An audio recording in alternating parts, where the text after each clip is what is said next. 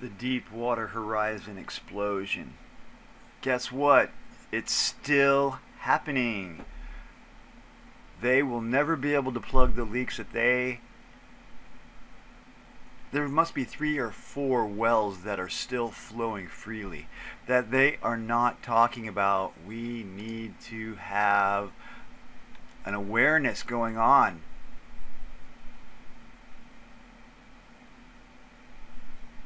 Comet Lovejoy.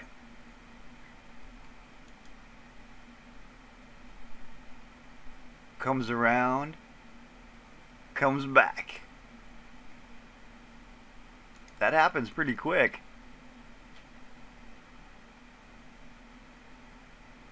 Within one day, it zooms around.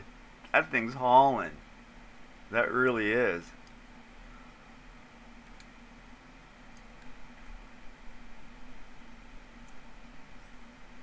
And this is the solar flare that's been causing all this so-called cable outages. Comcast has been blacking out.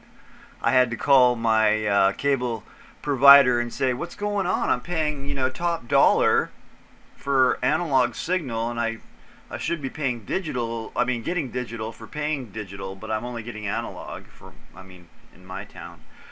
Uh, but why why are all these blackouts? Oh well, you know, the flare, you know, kind of you know disrupted the satellites. Well, we've had flares before, and this hasn't happened. I I think they're doing something with HAARP.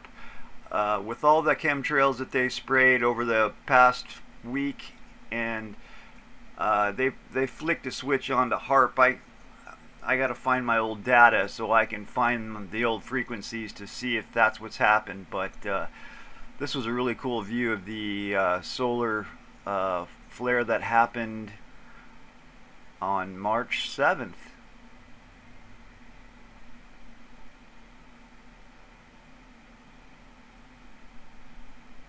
Just a quick shout out to the world to